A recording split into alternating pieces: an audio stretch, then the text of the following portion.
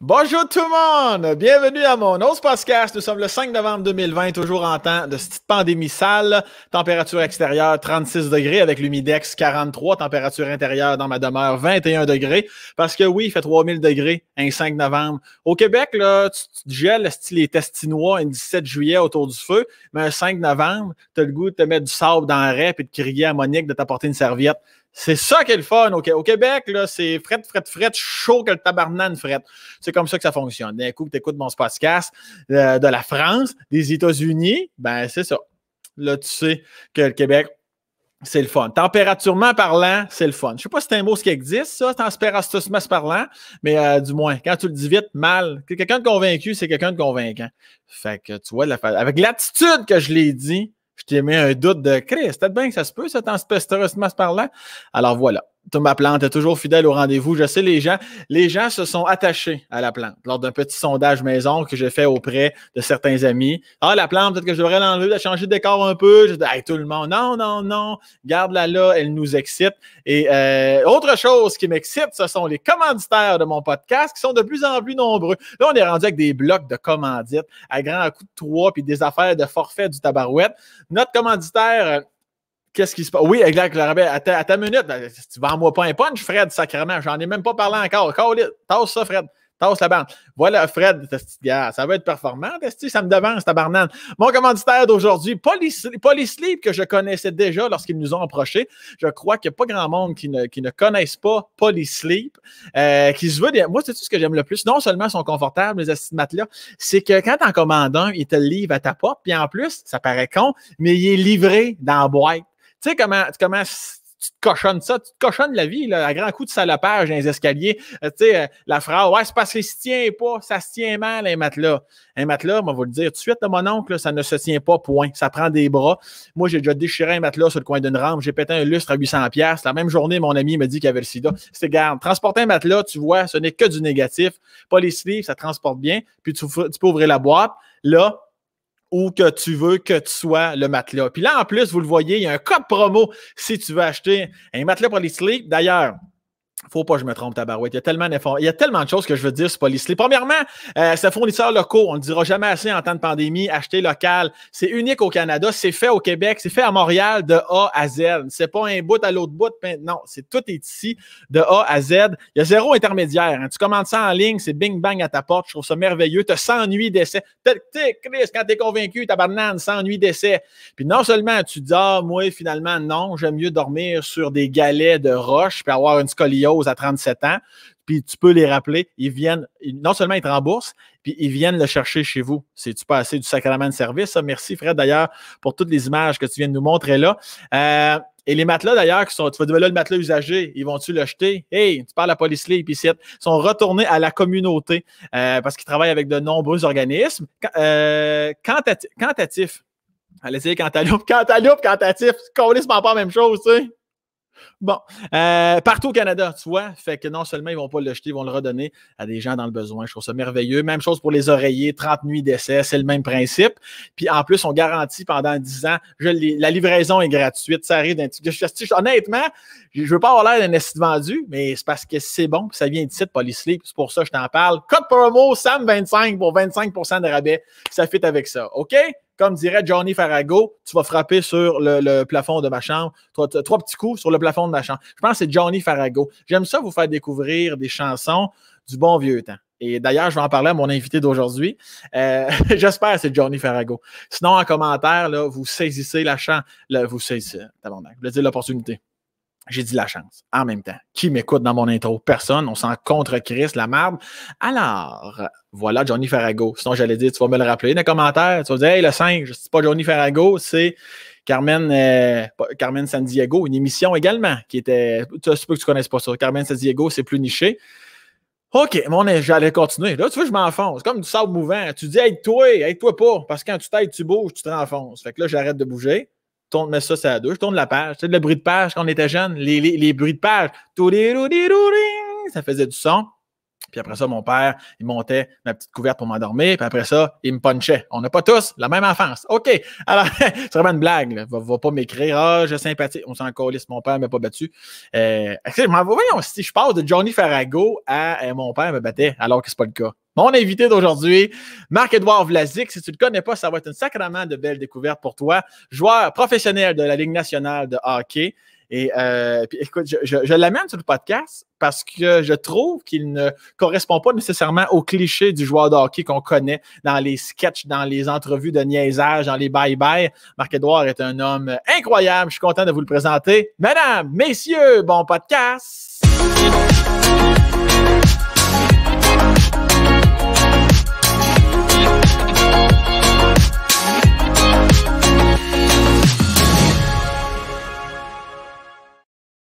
OK, mon petit. Là, je viens de voir que tu as fermé une fenêtre de ton ordinateur. Tu n'étais pas en train d'écouter de la porn pendant que je parlais, Marc-Edouard? Non, c'est un ordinateur. Je ne sais pas comment ça marche. Toi, au niveau techno, tu es quand même une, euh, qu'on pourrait appeler une bonne plaie. Là. Moi, je suis zéro. J'ai juste mon téléphone, c'est tout. Puis comment tu le gères, ton téléphone? Pas très bien. Non. T'as-tu un, ton iPhone? J'ai un Samsung. Hé, pourtant, t'es pas un gars dans la misère?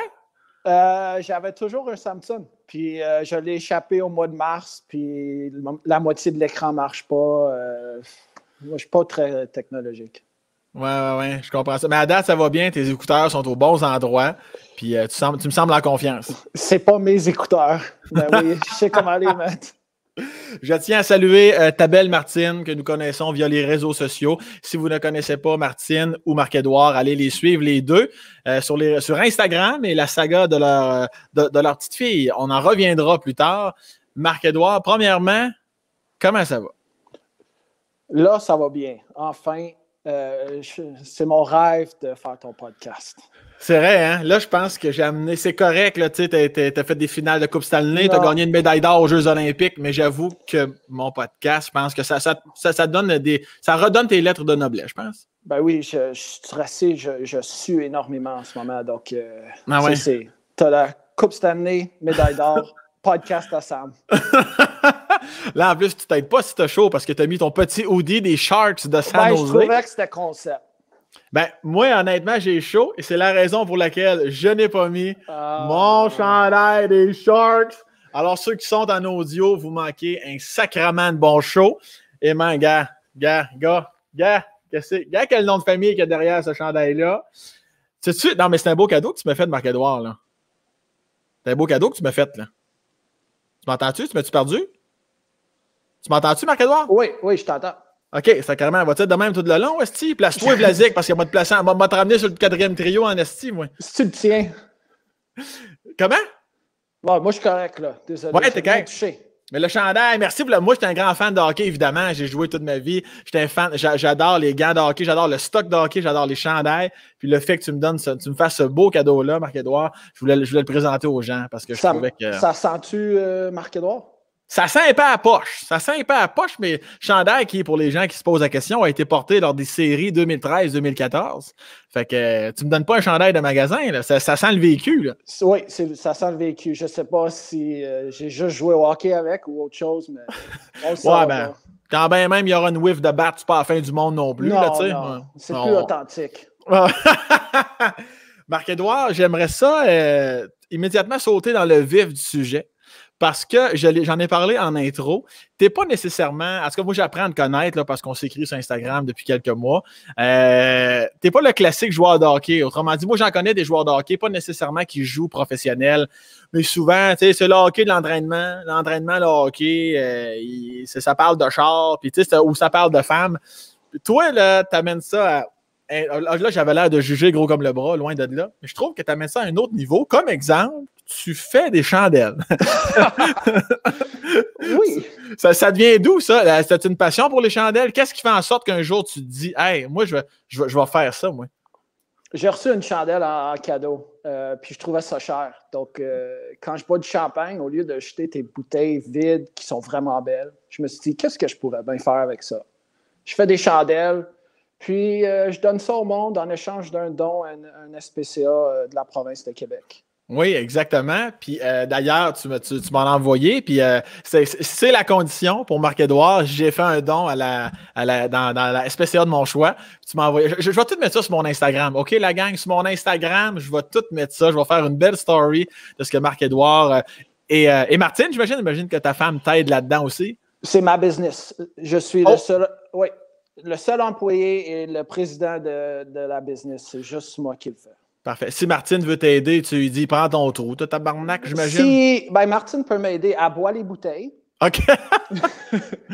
ben, ensemble, on boit les bouteilles. Je ah ramasse, des, vieilles bouteilles euh, vides, évidemment. Puis je les coupe, je remplis de cire, l'huile essentielle, puis tu fais un don. Mais... ouais, c'est aussi facile. Puis tu as énormément aussi, j'ai été surpris par le nombre euh, de. de, de, de J'allais dire pas de. Pas de. on Chris, pas de pas de senteur, ça se dit pas, ça, Chris? De... L'odeur? Ouais, mais ça me vient un autre mot. Fragrance, voilà, les oh, fragrances. Voilà, ouais, ouais, t'en avais un astichi à part ça. oh, j'ai une euh, centaine. J'ai plein de fragrances. Donc, en ce moment, j'ai comme une quinzaine de, de commandes qui rentrent. Puis, y a-t-il un endroit, mettons, les gens écoutent ça, là, mettons qu'ils sont fans de hockey ou peu importe, ou ils veulent juste encourager ou quoi que ce soit. T'as-tu un site, as-tu un endroit, c'est-tu sur ton Instagram ou ben non, t'es pas rendu à un niveau euh, commercial, ah, si on veut? Non, je suis pas commercial. Je fais, ça, dans, je fais ça, dans, mon garage dans des temps libres euh, quand j'ai 10 minutes ici, demain 30 minutes, mais euh, je fais juste dire au monde, fais un don via le web, SPA mhm. de Montréal, Québec, peu importe. Puis si tu veux des chandelles, tu m'écris direct sur Instagram sur Instagram, oui. Puis pourquoi les gens peut-être se demandent pourquoi la SPA, la SPA SPCA, euh, c'est parce que ben, Marc-Edouard, tout comme moi, on est des grands fans d'animaux, des grands fans de chiens. Euh, on, y reviendra. On, va en parler plus tard. Euh, ben, je peux. Je peux en parler toute la journée de chiens. Exactement. c'est pour ça, on va se garder ça pour la fin parce que ah, c'est une autre affaire, ça, que les gens ne se doutent pas, que tu fais des chandelles, que tu fais d'ailleurs des, petits cadeaux pour les chiens. Je vais tout montrer ça. Je, suis gossant avec ça sur Instagram. Je vais tout montrer ça. Euh, Marc-Edouard, tu l'as dit, tu fais ça euh, quand tu quand tu as, du temps de libre, des 10 minutes, des 30 minutes ici et là. Et Dieu sait, depuis le début de la pandémie, euh, c'est assez mollo de ton côté. Il faut dire que les Sharks de San Jose euh, ne s'enlignaient pas pour participer aux, séries éliminatoires. Même, je pense que vous étiez pas mal déjà éliminé lorsque la pandémie a frappé. Oui, on, était on était en dernière position dans notre conférence. Puis ça, le fait de. fait que toi, vraiment, tu n'as même pas été dans, les bulles à Toronto ou Edmonton pour faire les séries. Donc, tu es, revenu au Québec, je pense. C'est bien ça? Quand tu as vu que. Euh, ben, quand c'est terminé le 11 mars, puis je suis resté à San Jose un bon petit bout de temps, euh, ils ne savaient pas si on allait retourner au jeu assez rapidement. Donc, je suis parti en voyage avec les filles au lac Tao un mois. Après ça, je suis resté à San, à Jose un mois. Je suis revenu au mhm. Québec début juin. Mais de toute façon, les Sharks n'allaient pas faire les séries. Euh, mhm. notre saison finissait le 4 avril, donc on avait comme une vingtaine de jours qui restaient. Donc, revenir au jeu quand tu avais 0,003% de chance de faire les séries, euh, ah aucune chance.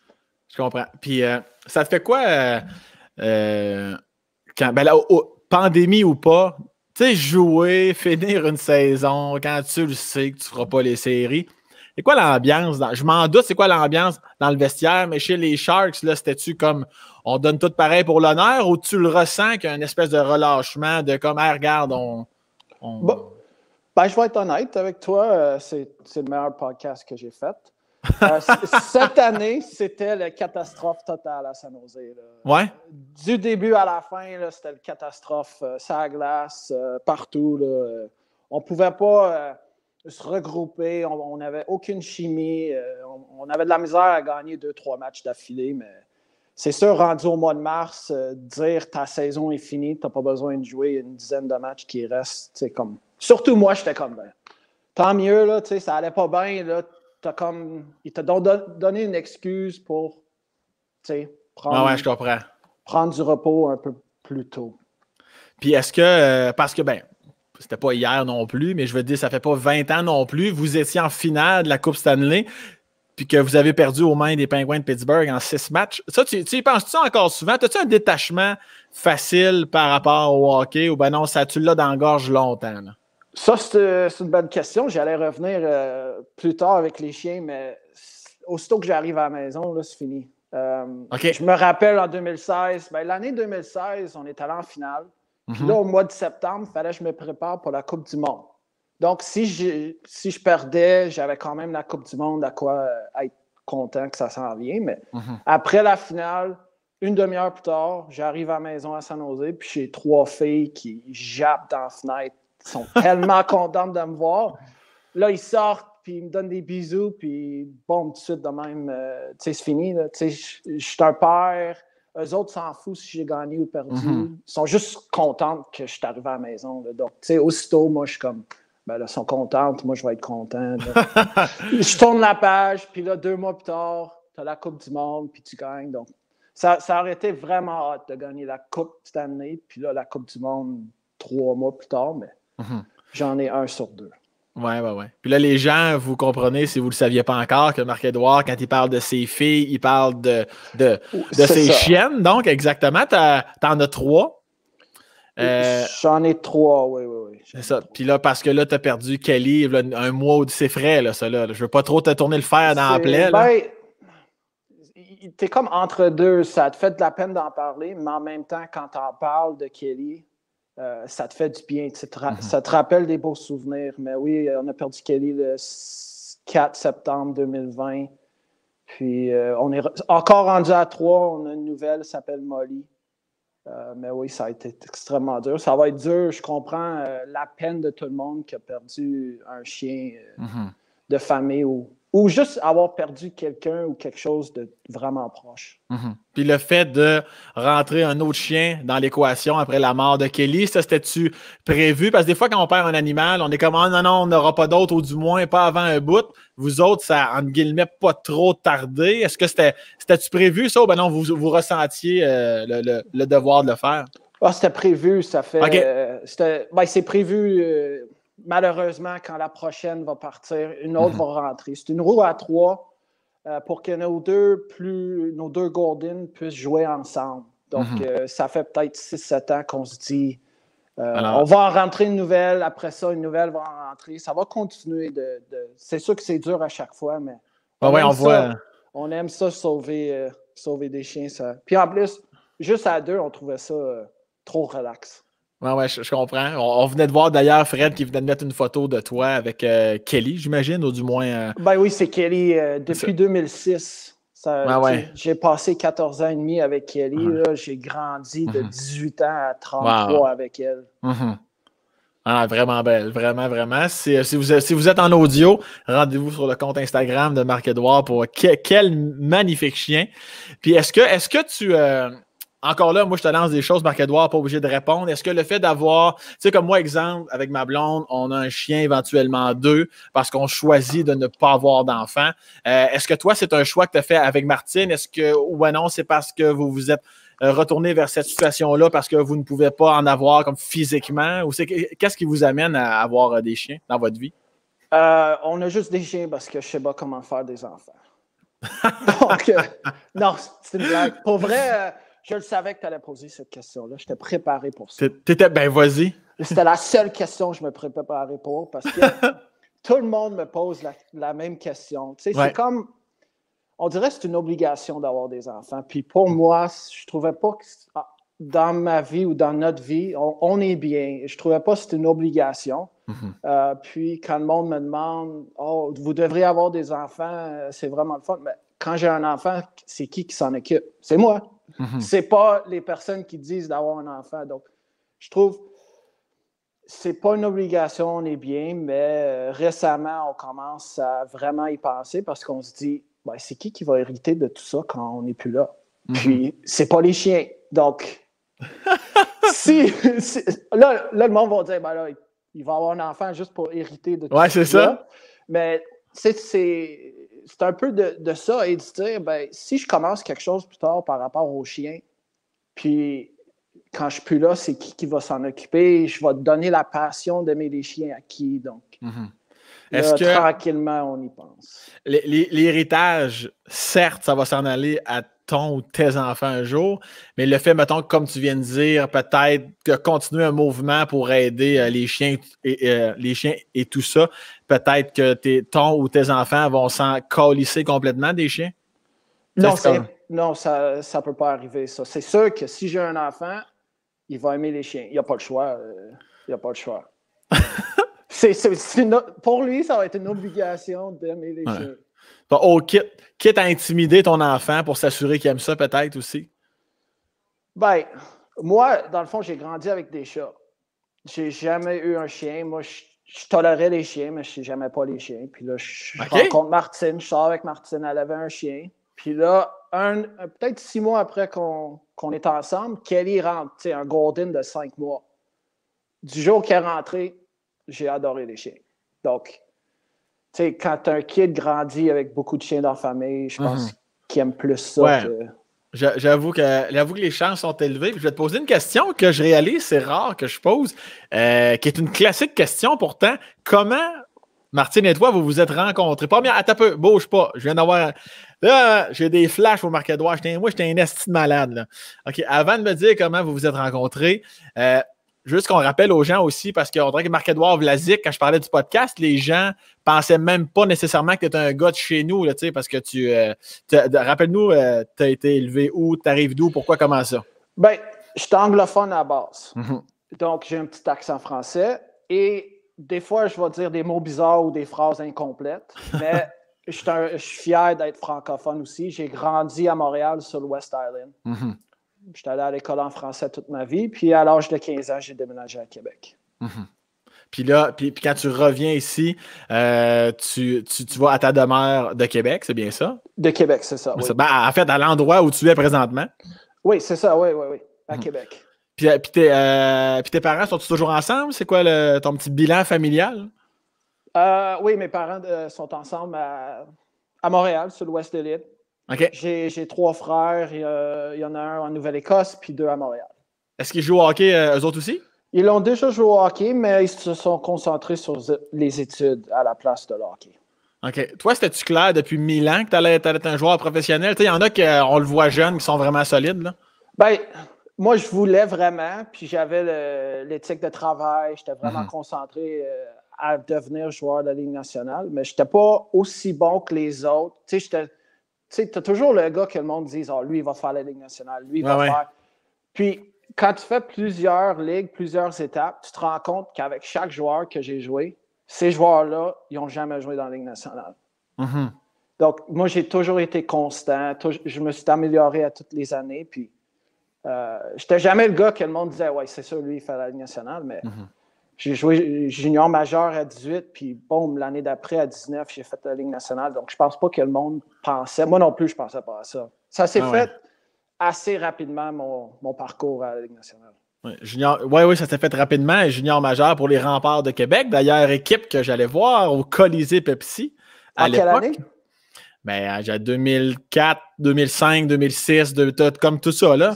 C'était mon année, ça. Ben oui, ben oui, c'est ça, je te dis. La Coupe du Mo- ouais, Coupe Memorial en 2006. Ouais, oh oui, oh oui, j'ai tout au courant de ça, voilà, là. Ah, Mais c'est faux aussi, euh, je t'ai pas oublié pour la question comment as-tu ren- rencontré euh, ta belle Martine? Mais euh, je, voulais, je voulais juste faire, euh, on n'est pas ici pour parler nécessairement de ta carrière de joueur de hockey, mais je peux pas m'empêcher de faire un clin d'œil de aussi, c'est comment représenter son pays, sais, le Canada, puis gagner la médaille d'or, ça devait être, tu dois en, souven- tu dois en garder des souvenirs complètement Oh. fous de ça, là. Ça, c'est malade. Euh, oui, tu as les Olympiques, tu as la Coupe du Monde, mais les Olympiques, c'est un notch, euh, une coche plus haut que ça. Mais, ouais. euh, quand tu es jeune, tu rêves de jouer dans la Ligue nationale parce que tu ne penses pas jouer aux Olympiques. Tu sais, tu dis c'est pas atteignable. Mhm. Puis là, tu grandis, tu joues junior majeur, là, tu commences à dire ben oui, je pourrais jouer aux Olympiques. Puis là, c'est comme un nouveau rêve ultime parce que c'est les meilleurs des meilleurs contre les meilleurs. Donc, tu sais, tu rentres dans le vestiaire, puis tu as Crosby, tu as Ovechkin l'autre bord, tu joues avec Weber, Price, c'est fou, là. Tu sais, comme moi, un joueur de hockey, tu rentres dans la chambre, puis tu es comme, oh boy, tu es comme gêné, t'es Ouais, comme- ouais. tu prends un trou, tu es comme, ouais, ouais, ouais, tu sais, c'est- fou, là. Euh, Est-ce que- là aux Olympiques. Est-ce que, est-ce que tu utiliserais le mot intimidé? Comme, comment tu te sentais? Est-ce que tu te sentais petit dans tes patins dans la chambre? Ou... euh? Non, je me suis- parce que je me suis dit, tu mérites d'être là autant que les autres. Voilà. Tu as ta place, mais en même temps, tu es comme, wow, lui il est vraiment bon. Oh, lui, c'est Crosby. Tu- tu sais, Crosby, depuis l'âge de 15 ans, c'est moi qui joue contre lui à tous les matchs. C'est moi qui essaie de, de pas qu'ils scorent contre les remparts de Québec ou les Sharks. tu sais, c'est moi. C'est moi. Tu sais, Donc, jouer avec lui, jouer avec les meilleurs, tu sais, tu es quand même. C'est surprenant. Quand même pour un joueur de Ligue nationale, mais tu n'es pas gêné ou quoi que ce soit. Tous les joueurs sont assez gentils, mais de représenter son pays, euh, je trouve pour moi, honnêtement, il n'y a rien de mieux. Mm-hmm. C'est peut-être. ça En 2014, j'ai gagné la médaille d'or. Puis je ne sais pas si je vais avoir une chance en 2022. Donc, j'avais une chance de gagner la médaille d'or. Donc, tu sais, ça arrive vraiment pas souvent pour mm-hmm. ben, la plupart des joueurs. Il y a des joueurs qui, qui vont à chaque quatre ans, mais pour moi, il n'y a rien qui bat ça. Je ne sais même pas et où ma médaille d'or en ce moment. C'est Martine qui la garde loin de moi. pas que tu la perds. c'est en plein ça que j'allais te dire. Es-tu euh, accroché quelque part? Mais ben là, tu sais même pas où, fait que c'est parfait. Je ne sais pas où, donc il faut que j'écrive une lettre disant J'aimerais voir ma médaille d'or. Là, elle va prendre la lettre, elle va me donner rendez-vous. Je vais monter. Je sais qu'elle est au deuxième étage. Je vais monter au deuxième étage. Là, elle va dire OK, voilà ta médaille, tu as 15 minutes. Après ça, c'est fini. Elle retourne au coffre-fort secret. Exact. Et, euh, arrivons à cette fameuse question. Comment as-tu rencontré Martine? Euh, Martine qui venait de Québec, j'imagine? Oui, elle vient de Québec, c'est ça, oui, oui, oui. durant mon passage euh, avec les remparts. On voit d'ailleurs une photo de vous deux, de Martine. Merci beaucoup, Fred. Oui, c'est une photo récente à l'Halloween au, centre-ville de Québec. Oui, voilà. on s'est je restais en famille de pension, puis il y avait une, fille, la famille de pension, puis Martine était amie avec cette fille-là. Mhm. Donc, euh, un, soir après un match, on avait gagné, puis euh, Patrick nous avait donné euh, un couvre-feu à 1 h du matin, ce qui est vraiment hot. Donc, je rentre dans ma famille de pension, puis Martine était là, assis avec son amie, la fille de la pension. Mhm. Puis là, j'avais un coéquipier qui restait avec moi qui disait Oh, on va sortir à soir, on a couvre-feu très tard. Puis là, Geneviève, la fille de ta pension, dit OK, on va sortir les quatre ensemble. Donc, on sort les quatre ensemble au Palladium à Québec qui n'existe plus. ouais. Puis, j'ai mis mon charme et des, et des chandails très serrés pour montrer mes muscles. Ouais. Puis, tu sais, c'est notre première soirée qu'on s'est croisés. Après ça, on a pris une date quelques semaines après. Puis, depuis 2006, on est ensemble.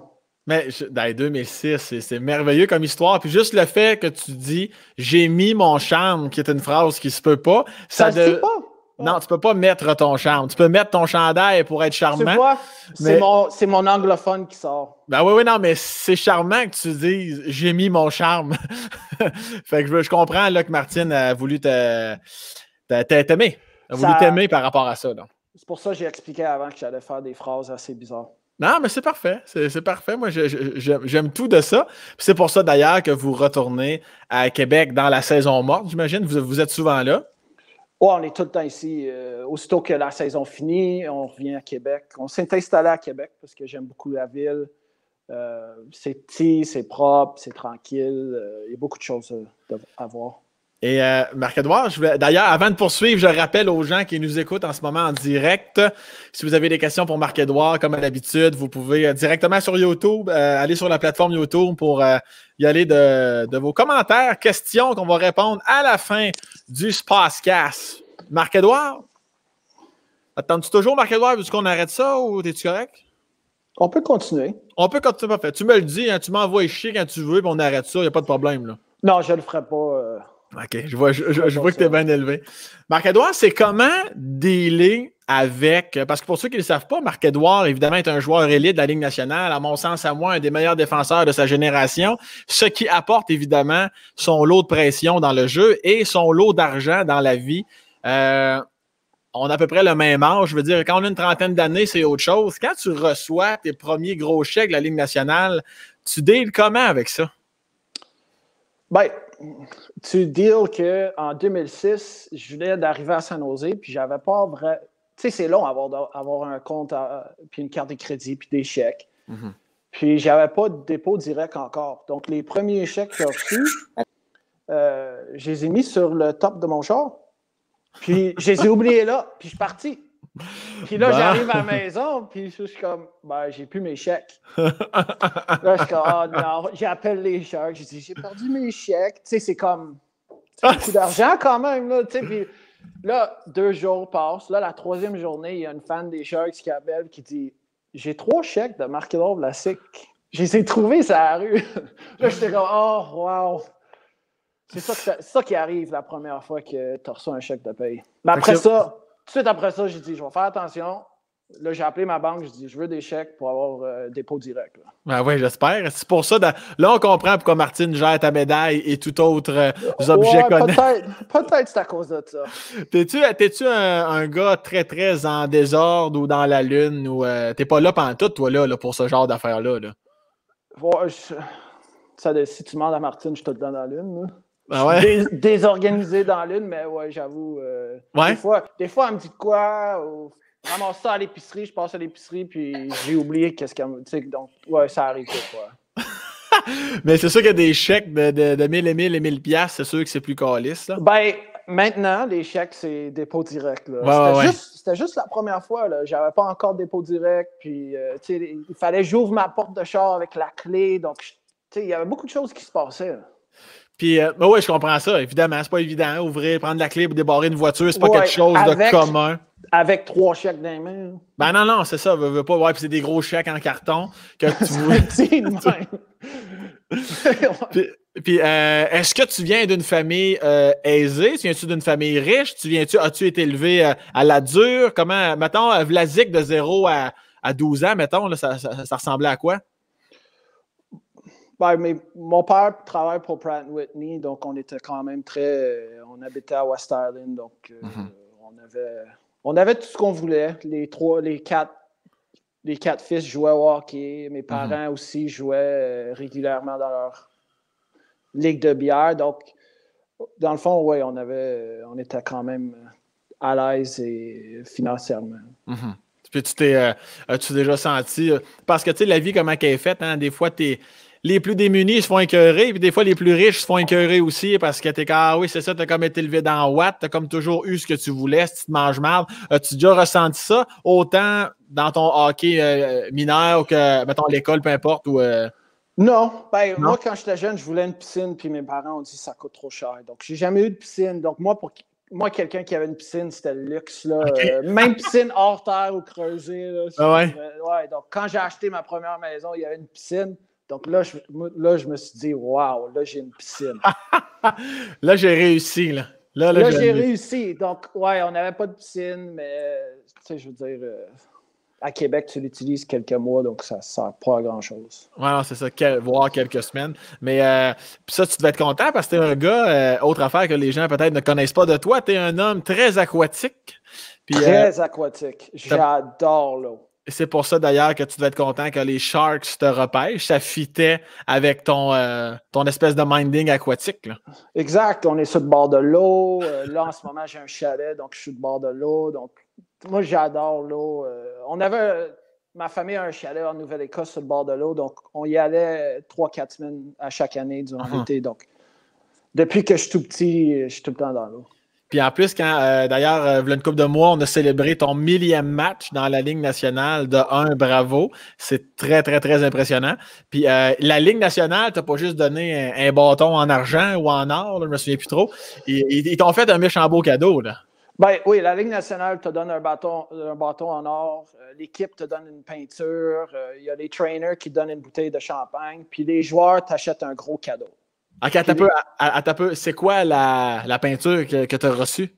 J'ai reçu une peinture de moi euh, habillé en Sharks, habillé en. OK, Sharks, teal, Sharks blanc, puis là, tu as Marc-Edouard en Team Canada. OK. Puis à travers tout ça, tu as les noms Martin, Kelly, Nicky, Macy. Wow. Euh, et les joueurs t'achètent un cadeau et les trainers t'achètent un cadeau. Donc, dans le fond, tu as comme quatre cadeaux ensemble c'est quoi le cadeau que ton équipe t'a offert? Ils m'ont offert une planche électrique. Ah oui, ben oui. Oui, c'est la planche électrique. Les, coéquipiers se rassemblent ensemble, puis tu achètes un gros cadeau. Puis c'est une planche électrique, euh, ça s'appelle un e-foil, une, planche électrique foil. Tu peux sortir de l'eau, tu peux aller jusqu'à 40 km/h. Mais C'est hot en esti, puis encore. Puis je passe mon temps à plugger ton compte Instagram et je vais le refaire une autre fois. Tu l'avais mis, euh, c'était pas en story, c'est vraiment. On, peut aller le revoir, la, vidéo que tu as mis. Que, ouais, j'ai pas posté en story, c'était sur ma page. on l'a-tu? Ah, Fred va nous le montrer à l'instant, je crois. Ouais, voilà. c'est ça, ouais. Incroyable. C'est moi-même qui n'ai oh, pas un fan. Je suis pas un fan d'eau, je suis pas un fan de planche, mais je dois avouer que tu m'as donné le goût d'en faire. Là. Oh, c'est malade. ça dure environ 45 minutes à une heure et demie, dépendamment de ta vitesse et ton poids. C'est vraiment C'est vraiment. c'est vraiment C'est vraiment le fun parce que tu mets juste la batterie puis tu pars. Tu n'as pas besoin de descendre l'élévateur pour un bateau, sortir le sidou. Tu fais juste partir avec. Je trouve que c'est tellement hot. Puis, y a-tu un moment dans, même si comme tu l'as dit tantôt, que tu avais euh, vraiment un bel éthique de travail, puis tu travaillais fort, y a-tu un moment donné où tu as douté, puis tu t'es dit, Christy, ça se peut que je me rende pas jusqu'en haut. Est-ce que tu t'es dit, je ferais autre chose ou je vais pas être dans la Ligue nationale, mais au pire, j'irai en Europe gagner ma vie? Est-ce que le hockey a toujours resté euh, le plan numéro un? Ça a été toujours le plan numéro un. OK, euh, carrément. carrément le plan numéro un. J'avais aussi des études en backup. C'était quoi tes études? Euh, ça, c'est une bonne question. ben, je suis allé au cégep ici à Québec. J'ai fait un an et demi. euh, un, un plan B pareil. Là. Ouais, ben, j'ai. À cause que ma deux. D'habitude, cégep, c'est deux ans, je crois. Là. Ouais. Dans ce temps-là. Ouais, c'est deux ou trois. Pour moi, dans ce temps-là, c'était deux pour moi, mais ma deuxième année, on s'est rendu en finale de, de Coupe Memorial en 2006. Puis j'avais comme pas été à l'école pendant un mois et demi. Là, je suis revenu, puis là, elle dit Ah, t'as pas passé. Là, je suis comme, ah, ben Puis là, je, vais refaire la moitié que j'ai faite, mais là, je suis parti à San Jose, donc je pouvais pas finir ma deuxième année de cégep.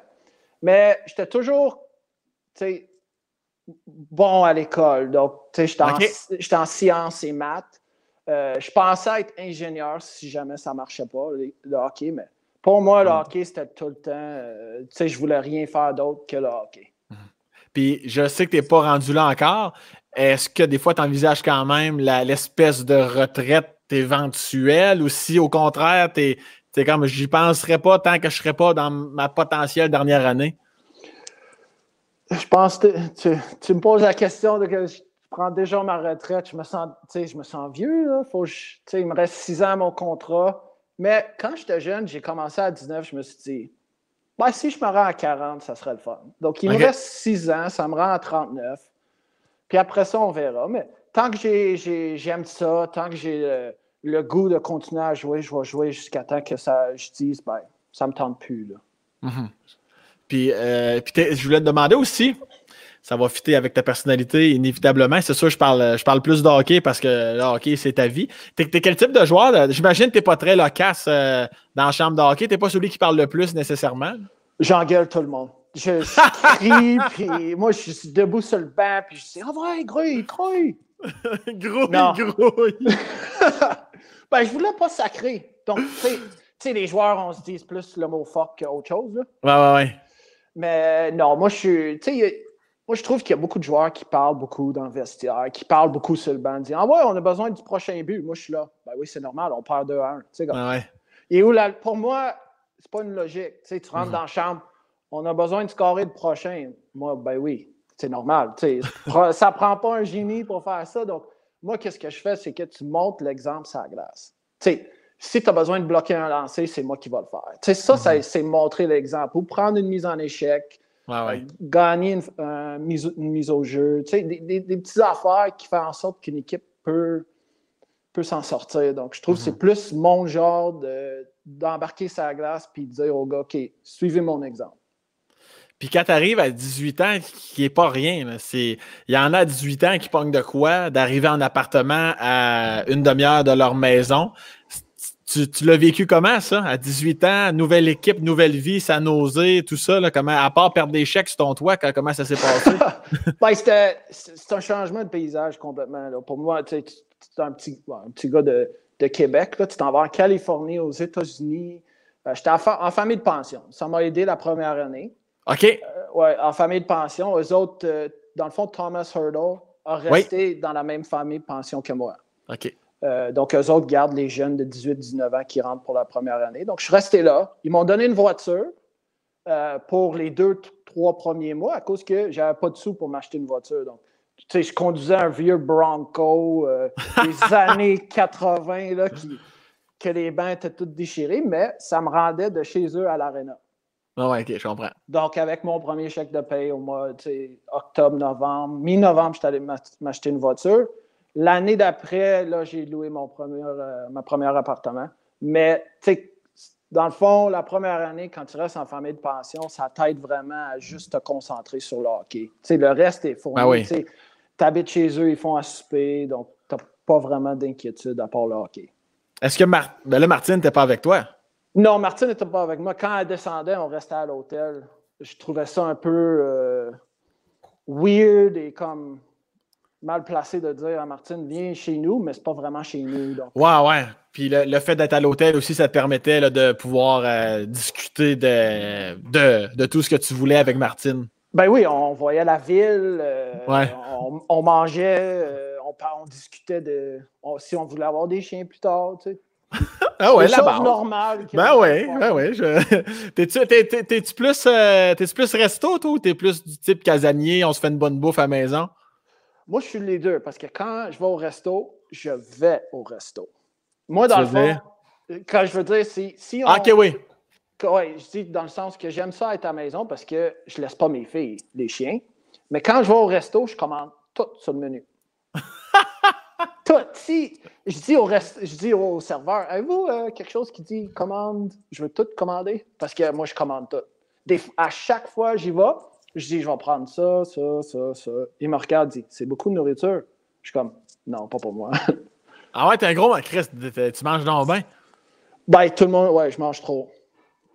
Mais heureusement, là, tu dois t'entraîner euh, 1000 heures par jour pour dépenser ça? Je m'entraîne, oui, mais je suis quand même chanceux, là, tout ce que je mange. En... Depuis le confinement, j'ai perdu. Euh... Ben, depuis le début du confinement jusqu'au mois de juin, j'avais perdu comme 15 livres. De muscles? De non? gras. De gras, OK. Non, de muscle, de muscle. Je perds du muscle. Mais okay, non, okay. je suis assez chanceux parce que j'engraisse pas quand je mange beaucoup, mais j'aime ça sortir au restaurant. Mais quand je sors, je me gâte. Je commande tout. Mais Chris, tu finis pas tout certain, pas de Christy de bon sens. Tu peux pas manger un menu au complet? Presque. Non, honnêtement, presque. Quand tout le monde qui me connaît, ils disent, ben, tu sais, quand je mange au resto avec du monde que je connais, eux autres, ils ont fini, moi, je mange encore. Je mange encore. Moi, je mange encore. Tu sais, quand, quand tu as des entrées et tu regardes le menu, tu es comme, ouh, ça, ça a l'air bon, ça, ça a l'air bon. Ah, je vais tout prendre. Sacrement! Je suis impressionné. Là tu, là, tu veux aller au resto avec moi, là. Ben, je, veux, je, voudrais voir ça de mes yeux vus. Ça pas... Mais pourquoi. T... Fait que toi, les buffets, c'est pour toi, ça, là, sacrement? Non, j'aime pas les oh. buffets. Parce okay. que ça, tu sais pas si ça fait longtemps que c'est là. Tout le monde touche à tout. Ouais. Même, tu sais, avec le COVID en ce moment, j'aime, j'aime, j'aime pas ça. Le... Tu sais, tu t'en vas chercher ta propre salade. Mais Pacini, j'aime ça. Faire ton propre pain, ça, ah ben. c'est hot. ça, c'est hot parce que je me bourre la face de pain, puis je suis pas capable de manger mon souper. Non, mais ça, ça, te coûte moins cher de menu, là, même si je sais que le, le, que le cash, c'est pas ton problème numéro un. Là. Non, mais, mais j'aime pas les, les, buffets. Non. Je suis pas un grand fan de buffets. Je, je, moi, tu le sais, avec son Sam, on pose des vraies questions. Euh, Pacini, tu bats ça des deux bars, ta toast? Ben oui, c'est sûr. Ben oui, c'est beau, c'est beau, parce que là, euh, ça n'aurait pas passé. Je m'attendais à une telle réponse. Un bon 20 livres de beurre chaque bar, là, ben oui, ton homme. Tu prends beurre à l'ail des deux côtés. Mais, mais Martine, là, ta blonde qui t'accompagne, elle doit te trouver dégueulasse un chaud temps. Oui, c'est un sujet délicat. C'est un sujet délicat. Ben là. Parce que, elle ne trouve pas dégueulasse parce que, tu sais, au début, quand on commençait à sortir ensemble, on allait au resto, c'est, elle avait fini, moi, je mangeais encore. Là, 14 ans plus tard, elle trouve ça chien que moi, je mange, puis elle, elle ne mange pas. Donc, elle mange presque autant que moi maintenant. Là. Puis si, puis si le lendemain, elle dit, ben, je ne rentre pas dans mes jeans, ça a faute à qui, tu penses? Ben C'est moi. Ça va toffer votre coupe? Oh, ça va toffer. Ça va ouais, toffer ouais, pareil, tu ouais, penses? Ben oui, ça a toffé 14 ans. Ça va toffer encore. Mais là, quand tu es chez vous, tu manges-tu moins? Est-ce que tu cuisines un peu ou ben non, tu commandes de chez vous? On cuisine, on cuisine. Euh, on mange fondu 4-5 fois semaine. Ah, pardon? Fondu, Fond... là, fondu chez nous, là, c'est constamment, constamment là, c'est 4 fois 4-5 fois semaine. quand on s'en va à San Jose, on amène les petits pots boivril verts à San Jose avec nous. Ben, va donc chier, toi. Oui, oui, oui. Puis des fois, Martine, tu sais, elle dit Oh, je vais prendre un 5 minutes, je vais prendre mon bain ou je vais prendre une petite sieste. Je prends un chocolat fondu tout seul. moi, mon gars, la fondue, c'est une fois par année parce que j'ai pas le choix, parce qu'on fait une thématique d'amis, de marde de raclette sale. Moi, les fondus et les raclettes, là, marc là, euh, ça moi, je, pas que je mange vite, mais j'aime ça pas travailler en mangeant. J'aime ça, moi, je m'assois, resto à la maison, je mange. Comme des fois, l'autre jour, au resto, là, commande une salade César, la fille, elle me donne le pied, le pied de salade avec un couteau à steak. Il faut que tu le coupes, ouais. tabarnak, j'ai une vie à vivre. Pourquoi tu penses que je viens au resto pour pas avoir à faire ça? Mais ben, c'est élégant, ça, avoir une salade César que ben, tu coupes.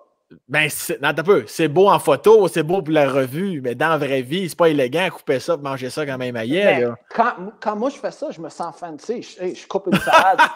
c'est rare tu coupes une salade. Je trouve que c'est, c'est haut de gamme. C'est haut de gamme.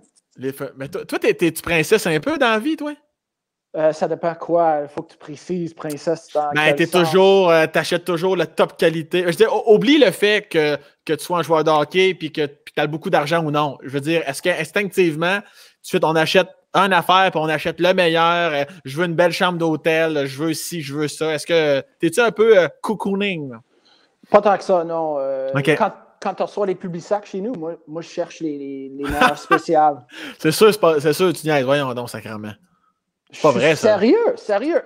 Ça fait pas longtemps que je le fais, là, mais depuis que je suis allé chez mon beau-père, puis lui, il, y a tellement de choses dans le sol, il dit Oh, j'ai acheté mon sucre à 60 cents. Là, j'étais comme oh, moi, je l'ai acheté à 2 piastres. Tu sais, comme, j'étais comme Là, je suis rendu plus. Je regarde les plus. Tu sais, que je dis Oh, la, la banane est, moins chère, là, je vais aller là. Mais je me déplace pas à 3-4 places, mais oui, des fois, je cherche les, euh, des petits rabais ici et là. S'il y a quelque chose, j'aurais jamais pensé que toi ou un joueur de hockey de la Ligue nationale un jour m'aurait dit, ça serait cette information-là? Ben, ça dépend sur quoi. Admettons, c'est la même banane. tu sais, comme au IGA ou au Super C, je vais aller au Super C si c'est moins cher. Mais, admettons, une chambre d'hôtel, si tu me dis euh, un Best Western deux étoiles ou un Ritz-Carlton, je vais aller vers le Ritz-Carlton. Ben oui, là, c'est sûr. Hein. Oui. je comprends. Ça dépend que... sur quoi? Et ben, sur quoi d'abord? T'es es, l'inverse de ça? Ben, je prends ça sur. Euh...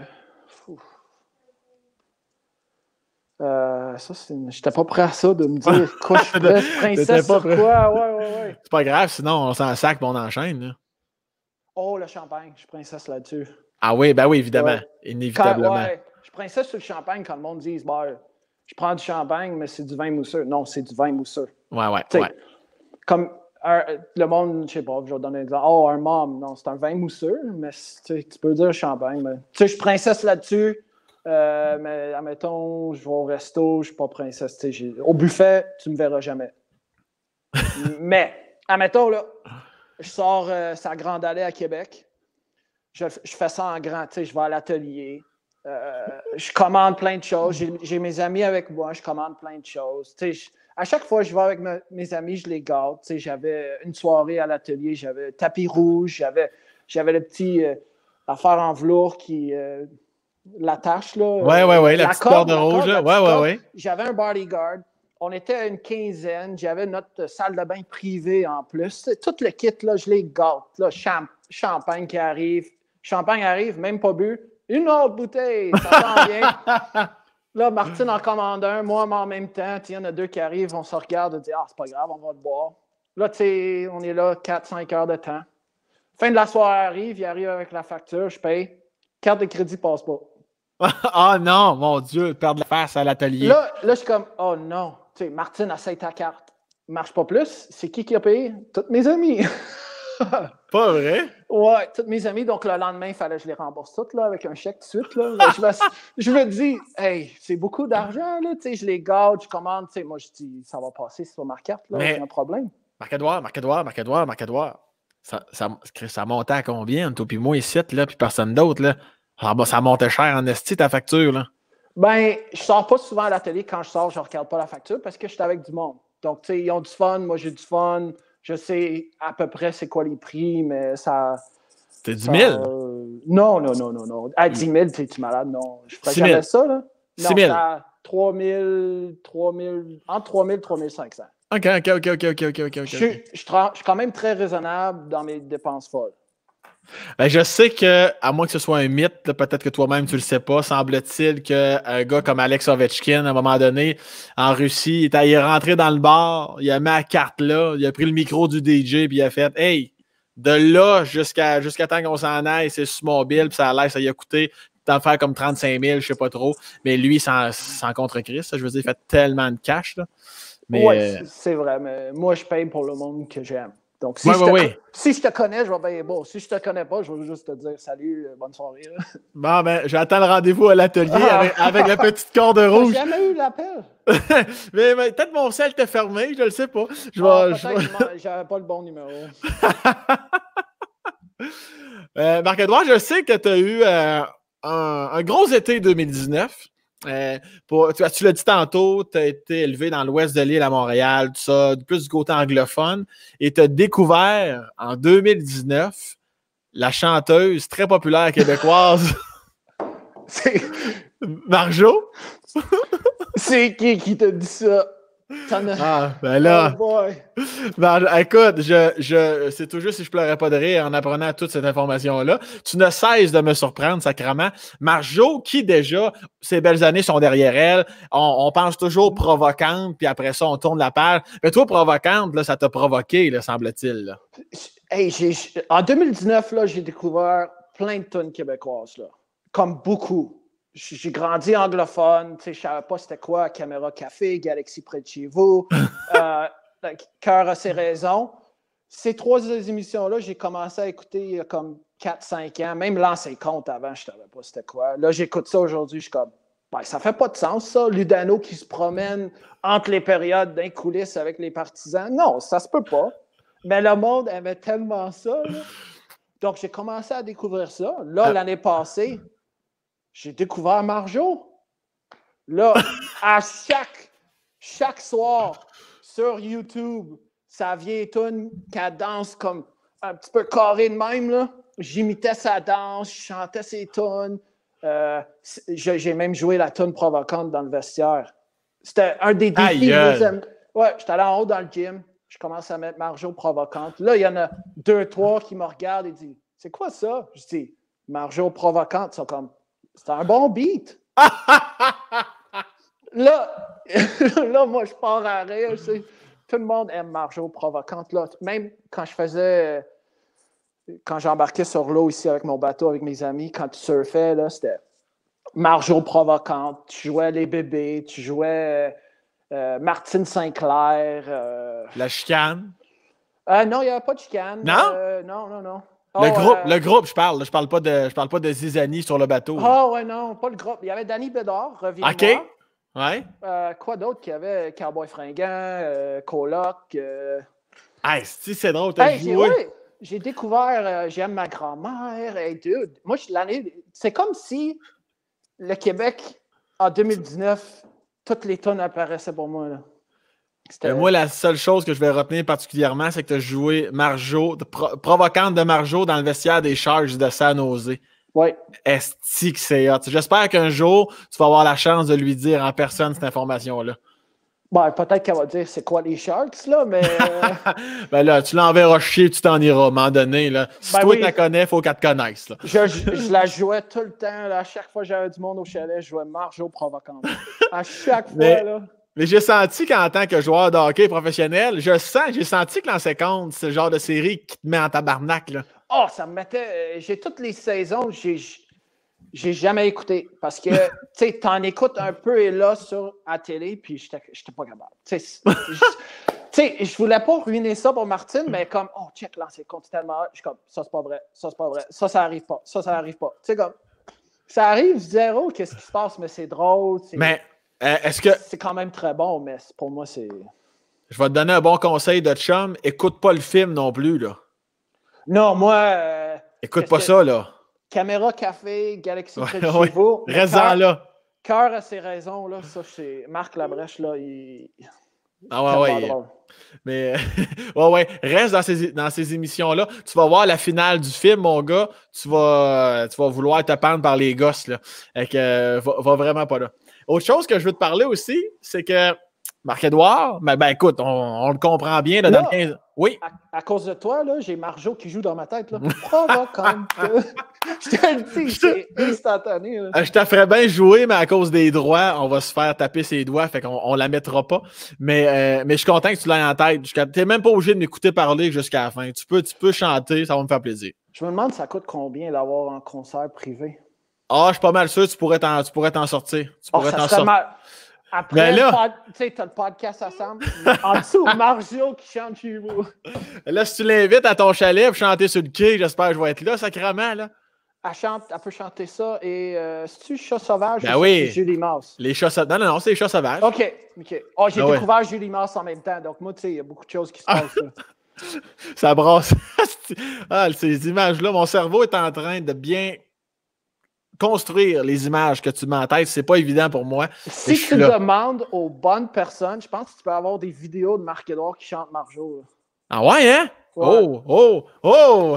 Peut-être qu'il danse en même temps aussi. Ah oui, hein? Ça sent le défi. Il doit avoir une coupe de bouteilles de champagne dans le nez, le beau Marc-Edouard, à ce moment-là. Oui, sûrement, mais si tu pars Marjo maintenant, je danserai aussi. Ah oh, oui, je comprends. Dommage qu'on n'ait pas les droits.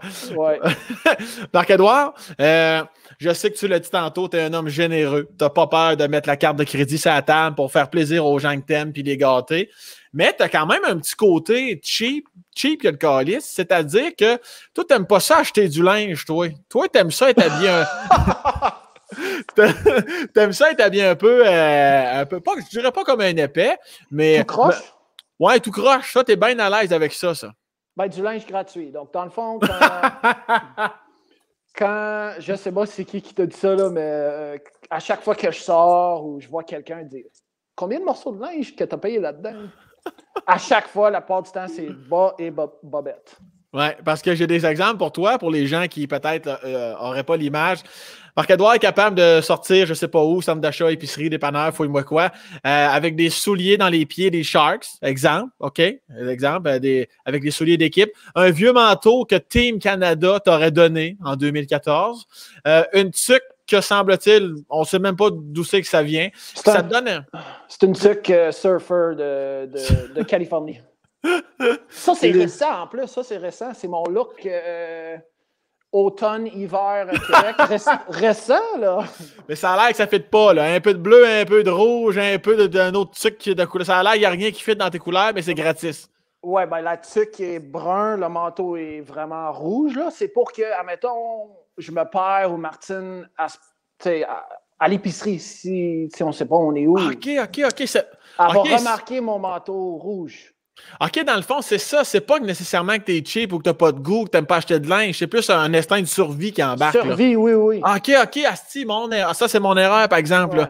J'étais convaincu que moi, que tu étais à l'aise d'avoir l'air d'un épais en public, mais c'est pas que tu es à l'aise, c'est que tu fais ça pour ta femme. Si je vais à la salle de bain, puis dans le fond, quand tu vas à la salle de bain, tu vois juste les, souliers. Donc, Là, si j'ai des souliers des Sharks, ils vont savoir c'est marqué Edouard Vlasic. On, on, peut voir le petit requin en haut de la semelle à ce moment-là. Fait que là, t'as Martine qui est comme, ça, ça, malgré les odeurs de marde dans la toilette, je sais que mon chum est là, elle, peut le voir. Mais en ce moment, tout mon linge est payé à part mon sweatshirt. OK. Ah ouais, mon Dieu, fait que tu t'es mis chic pour le podcast, là. Je me suis mis chic pour le podcast. Marc-Edouard, avant de passer à la, à la rubrique des questions du public, euh, écoute, à part, à part ta, ta belle Martine en sucre, euh, tes, filles, on a parlé tantôt, euh, tes chiens, tout ça, tu l'as dit, même si ça va mal d'un sport, peu importe, tes chiens te ramènent à la base de la vie. T'aimes ça. Est-ce que tu penses d'avoir plus? Comme là, t'en as trois. Des fois, tu te dis-tu, on pourrait en avoir quatre, on pourrait, tu veux-tu augmenter, faire grossir ce projet-là, d'avoir, sans dire un, un, espèce de gîte pour chien, là, mais t'aimerais-tu un jour en avoir plus? Oui, j'aimerais ça en avoir plus. Le plus que j'en ai, le plus que j'en ai sauvé. Mais en même temps, euh, quand je suis là, c'est correct en avoir 4, 5 ou 6. Mais quand je ne suis pas là, quand je suis sur route, c'est un peu plus dur pour Martine de gérer six chiens à elle seule. Ouais. Euh, dans le fond, les, même à trois, c'est pas évident des fois tout seul, mais euh, ça fait six ans on a trois chiens, on est bien à trois, on a une bonne chimie d'installer, mais À ma retraite, sûrement. Puis est-ce que, euh, au-delà des chiens, euh, euh, les tâches ménagères, tu sais, parce souvent on entend le terme hockey wife, tu sais, les femmes de joueurs de hockey. pas que ça ressemble aux années 50, dans le sens que, tu sais, dans la cuisine puis ils s'occupent de tout, là. Est-ce que par la bande, sans vouloir être macho, sexiste, est-ce que c'est votre dynamique de couple puisque tu es souvent parti, puisque, tu sais, c'est comme par, par définition, est-ce que c'est ça? Oui, c'est ça. mais avant qu'on se rencontre, elle, a travaillé beaucoup à travers la prévention des pertes pour un gros magasin. OK. Euh, magasin de linge, où elle m'achetait du linge. Ouais. Mais euh, quand, quand elle a décidé de, déménager, elle a pris le choix de déménager avec moi en Californie pour ensuite arrêter de travailler. Mais euh, on, a une, on a une belle chimie, évidemment, elle est avec les chiens à la maison, mais en même temps, on trouve ça vraiment hot, le fait qu'elle elle, elle puisse prendre beaucoup de temps, d'avoir beaucoup de temps à la maison pour passer du temps avec les chiens. Donc, tu sais, c'est jour et nuit être avec les, les filles. Donc, tu sais, surtout, tu sais, il y a du monde qui travaille, qui laisse leur chien à la maison 8 heures de temps. Ça, c'est normal. Euh, Parce que, on, est, on, est, chanceux qu'on puisse avoir Martine à la maison avec les mhm. filles pour vraiment passer du temps avec eux. Donc, c'est quelque chose qu'on apprécie, puis quelque chose qu'elle aussi, elle apprécie parce que, c'est Kelly qui, est partie à 14h30 euh, tous les, souvenirs, tout le temps qu'elle et moi, on a passé avec elle, on, mhm. on trouve ça, euh, on, est choyé. Puis ça reste quand même, il y a quelque chose de beau là-dedans où ça reste un choix de vie en maudit là, que Martine, entre guillemets, abandonne son travail, abandonne Québec pour déménager en Californie. Ça, j'imagine qu'il n'y a pas une plus belle preuve d'amour que ça à ce moment-là. Oui, c'est vrai, effectivement. C'est, elle travaillait, euh, elle avait vraiment une bonne job, puis elle mhm. a elle a dit OK, je vais venir à San Jose avec toi. Donc, c'est vraiment une belle preuve d'amour qu'elle elle a comme lâché le travail et sa famille en même temps pour venir à l'autre bout du monde pour venir euh, passer, euh, mhm. pour être ensemble, dans le fond. Y a-tu des moments dans les dernières années ou un an ou deux après votre arrivée à San Jose que sentais, ou en fait, est-ce qu'elle t'en parlait des fois qu'elle aurait envie de pas juste être à la maison, justement? Avez-vous déjà eu ces discussions-là? Ben oui, mais on a eu cette discussion-là ensemble et avec notre comptable. Qu'est-ce qui est drôle, c'est que. ben, c'est la réalité. Oui, oui, oui, oui. Mais c'est un peu drôle en même temps parce que si elle décide, euh, c'est pas gentil de la manière que je vais l'approcher, mais dans les rapports d'impôt, c'est comme si on est deux ensemble. C'est comme s'il était à ma charge, mais je trouve que c'est un manque de. C'est exactement ça, mais je trouve que c'est un manque de respect pour la personne. Mm-hmm. Mais si elle décide de travailler, les deux, elle et moi, vont être indépendamment. Indépendantes. Oui, c'est ça. C'est un mot dur à dire. Oui, oui, mais ça a bien été. J'ai bien aimé ça. Oui, merci. Donc, dans le fond, moi, je paye mes rapports, elle, elle paye ses rapports. Donc, genre, je paierais plus de taxes. Donc, notre comptable nous a dit que si elle travaille, ça va venir, ça va te coûter plus cher que si elle ne travaille pas. Donc, OK, ouais, ouais. ouais. Donc, je trouve que c'est illogique du système de faire ça, mais dans le fond, ça, on a demandé, on, on, a posé des questions, on a demandé à nos comptables, mais euh, c'est ça que ça donne. C'est bizarre, mais en même temps, elle s'occupe des chiens, euh, elle voit sa famille, elle fait des allers-retours. Ouais, ouais. Ben, de toute façon, si je comprends bien ce que tu dis, dans le fond, c'est pas que tu l'aimes pour vrai, mais au moins, elle s'occupe des chiens. c'est pas pour ça. Ben, les chiens, euh, Martine et les chiens, là, il y a une chimie que moi et les chiens, on n'a pas. Euh, ils écoutent Martine, sont bien dressés avec Martine. Avec moi, c'est le bordel. Euh. donc, quand ils sont avec elle, je sais que tout va bien. Fait que quand es là, Martine, qu'elle s'occupe des chiens et de Marc-Edouard. Elle va dire oui, mais pas tout le temps. Mais quand c'est moi qui s'occupe des chiens, moi, j'ai une liste. Là.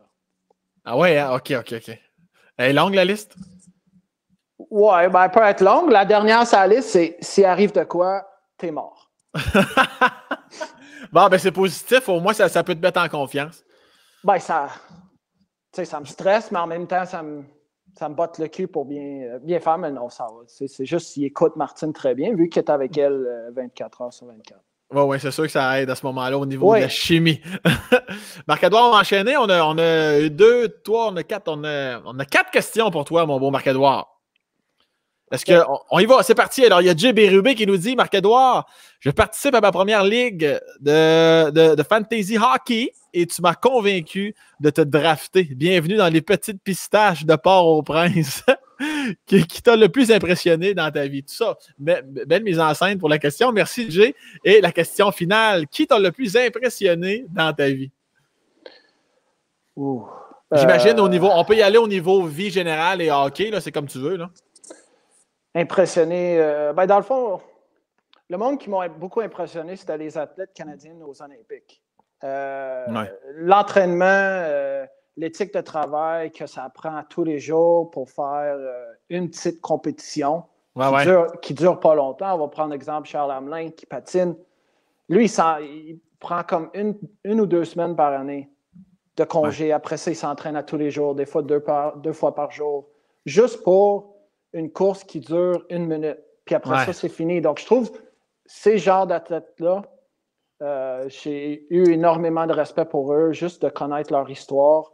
Euh, donc, ces athlètes-là m'impressionnent, comme Kingsbury. Il y a une descente, il n'y en a pas deux. Donc, je trouve que tu travailles tellement fort pour une opportunité. Mm-hmm. Ouais, c'est un sport solo en plus. Fait que si tu gagnes, c'est de ta faute. Si tu perds, c'est tout de ta faute aussi. Là, là. Fait que ça aussi, ça. Tu comme toi, tu peux, dans le sens que tu peux avoir un match plus ou moins un soir que tu es moins dans tes patins, comme on dit, mais l'équipe peut gagner pareil. C'est l'avantage du sport d'équipe. Mais, mais, quand tu es en solo, tu es, tout seul longtemps. Puis en série, si tu perds un match, il t'en reste un le lendemain ou après-demain. Donc, tu sais, oui, c'est un 4 de 7, si t'en perds 4, tu es éliminé, mais au moins tu as une deuxième chance ou durant la saison, tu es moins 5. Tu as le temps de te rattraper. Mais dans ces sports-là, individuels ou un petit peu en équipe, comme le curling aux Olympiques, c'est un peu différent. Tu as quand même des chances, mais c'est les sports solo que le monde s'entraîne en fou. Euh, l'éthique de travail, c'est eux autres qui hmm. m'impressionnent le plus. Puis, euh, individuellement parlant, sur la glace, quel joueur t'a impressionné et t'impressionne encore aujourd'hui? À quel point ce joueur-là, pour toi, est fort que le tabarnan? Ben, quand j'ai commencé à jouer, il y en avait beaucoup, mais durant une, portion de ma carrière, c'était Pavel Datyuk. Ah, ben oui, ben oui. Ben lui, il m'impressionne, euh, ses habiletés, sa vision. Euh, à chaque fois mhm. qu'il faisait quelque chose, tu assis sur le banc, tu dis Wow, vraiment. Ah, ouais. Euh, tu sais, tu es comme assis sur le banc, avec d'embarquer, puis tu es comme impressionné. Es comme, Des fois, des fois tu es comme Oh, wow, il est bon. Puis là, tu oublies d'embarquer sur la glace. T'es comme, oh shit. Ah. Euh, ouais, c'est ça. Que... Tu sais, aux Olympiques, euh, John Tavares, il m'a impressionné aux Olympiques. Je ne l'avais pas vraiment connu avant les Olympiques, mais à partir des Olympiques, je le trouvais vraiment, je le trouvais vraiment bon. Puis Crosby, Crosby, ça doit être l'enfer. Ben, Crosby, je l'ai suivi, j'ai joué contre depuis l'âge de 15-16 ans. Donc, euh, oui, il est impressionnant. J'ai joué contre lui toujours aussi bon qu'il était avant. Pour moi, c'est le meilleur joueur de la Ligue. Mhm. Merci pour cette réponse-là. J'allais surenchérir avec McDavid, mais on pourra en parler longtemps des joueurs, puis des joueurs, puis des joueurs. Mais on n'est pas là pour ça, Marc-Edouard. On va y aller avec une autre question avec Effet Pastel qui a déjà commenté le podcast. On la remercie encore. As-tu écouté la série documentaire Les Intouchables par Marie-Claude Savard qui parle de sujets tabous entourant le hockey? Ou as-tu des échos de personnes autour de toi qui l'ont vu? Je ne sais pas, avec ta. Je sais que tu consommes plus euh, au niveau américain, quoique maintenant, tu as une grosse vague de, Québec. As-tu déjà euh, euh, vu la, série documentaire Les Intouchables? Non, je ne sais pas c'est quoi. Ouais, c'est ça. ouais, non, excuse. Euh, je pas... Non, non, non, excuse-toi pas, excuse-toi pas. Donne-moi, à, chaque année, il faut que j'apprenne du nouveau quand même. Mets-moi pas ça dans une année, tu sais, toutes les émissions, toutes les chansons, tous les documentaires, ma tête va exploser. Non, non, non, il euh, n'y a pas de stress. Tu as, l'air un peu trop de cul auprès de tous les Québécois Québécoises, mais tu n'as pas à t'en faire avec ça, il n'y a pas de problème avec ça. Là. Euh... Ah. oh, Jay qui te remercie pour la bonne réponse. Très bon podcast. Merci beaucoup, Jay. T'es fin d'être là. えー Euh, Attends, un petit peu, attends un petit peu, Fred. Fred a, Fred a hâte d'aller souper à Nesty. Fred, depuis le début, est craquant encore. Elle veut aller au resto avec moi. non, non, mais t'as peu, c'est parce que j'étais après de dire que t'étais un Nesty trop de cul. Là. Il fallait bien que je me reprenne. Là. Euh, non, non, mais je voulais juste te dire, Les Intouchables de Marie-Claude Savard, euh, au-delà du podcast, tu pourras aller consommer ça. Très bon, euh, très bon documentaire, ça, l'a dit. C'est juste ça, je, je vais le noter. Voilà, exactement. Puis non, t'es pas un trou de cul, marc J'ai senti que ça, ça t'a blessé, que je te traite de trou de cul. T'es-tu? Oh non, ça m'a passé par-dessus la tête. Ouais, ça. Ou, ben non, c'est Martine qui te parlait à côté. Puis... Euh, non, non, non, non. Tu peux me traiter de n'importe quoi. Le monde qui me traite de ci et ça, ça me dérange pas. Mais si tu parles de mon chien, ah oui, non, je, je vais te trouver. je vais te trouver. T'as pas, pas de danger pour ça. Je te, je, je, ben, je, te vise pas en particulier, je dis en général. En même temps, si tu me trouves pour m'amener à l'atelier, je vais peut-être ah, insulter ton chien peut-être. Fred, OK, là, Fred, là, Fred, tu peux y aller. Là, là, là c'est bon. Là. OK. On a Essentiel du Web ici qui nous dit est-ce que la situation de la COVID risque de faire perdre, te risque de faire perdre la passion du hockey à toi ou d'autres joueurs? Donc, penses-tu que ça va impacter, la COVID va impacter euh, les joueurs au niveau de leur désir et le feu sacré du hockey? Merci beaucoup pour la question. Non, je pense pas à cause que euh, ça fait depuis le mois de mars que j'ai pas joué, donc ça va me donner le goût encore plus de revenir au jeu. Mhm. Donc, je trouve pour l'instant, je suis très bien parce que pour la première fois en 14 ans, c'est moi qui fais mon horaire. Mhm. Je m'entraîne le matin ou le soir quand je veux.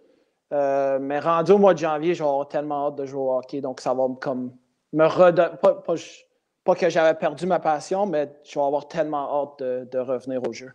Puis euh, tu parles d'entraînement, ça ressemble à quoi un entraînement? Maintenant, je vais chez vous, le Marc-Edouard Vlasic, je m'entraîne avec toi. Euh, je risque de subir quoi là, comme, euh, comme programme d'entraînement? Ben, ça dépend de la journée. C'est cinq fois semaine. Je prends quand même les, les, fins de semaine off.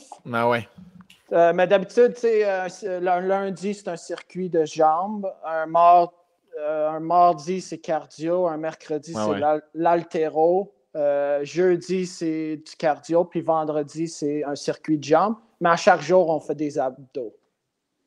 À chaque jour, ben oui, oui parce que ben le corps, le corps est important. C'est l'essentiel d'un joueur de hockey. Donc, c'est cinq fois semaine, une heure à deux heures par jour, dépendamment, de, ton, dépendamment de ton programme. Puis là, tu dois aller à l'Econo Fitness pour t'entraîner, Marc-Edouard? non, j'ai un... ouais, ici, j'ai un gym chez nous. Oui, oui, je m'en doutais, oui, ouais. Mais j'ai quand même aimé. Je me suis imaginé, t'imaginer. Je me suis imaginé tout à Calvaire. C'est moi qui rends anglophone, Steve. tu vois? C'est moi qui devrais rire de toi? Ouais, ouais, ouais, ouais non, non, vas-y, vas-y, Orlin. Tu peux même me traiter de trop de cul si tu veux. non, c'est pas mon genre.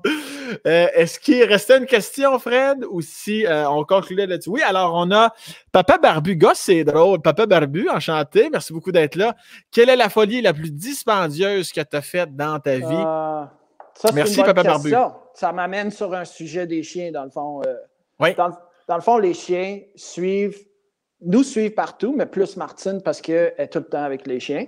Mais la, la, folie qu'on se permet depuis 2010, c'est de voyager euh, en avion privé avec les chiens. Wow! Euh, après la saison, pour retourner, euh, donc deux fois par année, on se permet ça. Au début, on a fait le voyage en voiture, Californie, Québec, pour ne pas le faire. Euh, on l'a fait neuf fois, puis après ça, on s'est dit, avec les nouveaux contrats qui ont rentré, on dit on, va se permettre une folie ou deux folies par année pour ne pas mettre les chiens euh, dans, dans le soute à bagages. On va louer un avion, puis maintenant, ils sont tellement habitués qu'ils montent, montent dans l'avion, sautent sur le divan, ils ont leur petit lunch qui l'attend. Ah, wow! Mais si, si j'avais pas de chien, je ne je, je louerais jamais d'avion. Ouais, c'est ça, tu, tu c'est pas à toi le jet, là, tu, non, tu, tu le loues. Non, ouais. Dans le fond, moi, je suis la gardienne des chiens.